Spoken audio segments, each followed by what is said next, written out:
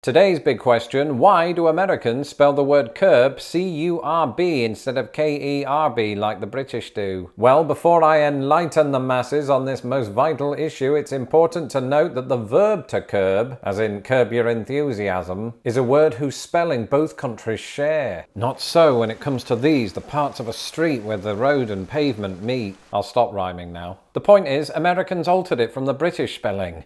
Or did they?